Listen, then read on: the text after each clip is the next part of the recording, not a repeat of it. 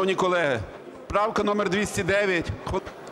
Пропонується на 2020 рік залишити за місцевими бюджетами.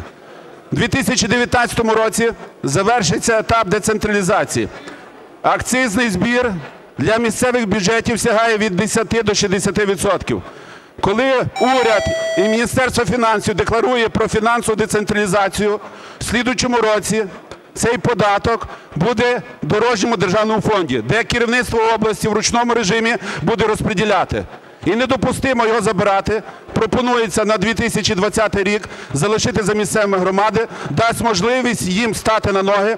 А з 1 січня 2021 року ми будемо його наповнювати державний дорожній фонд. Прошу колег-мажоритарщиків підтримувати. Це той самий соцекономрозвиток на 2020 рік. –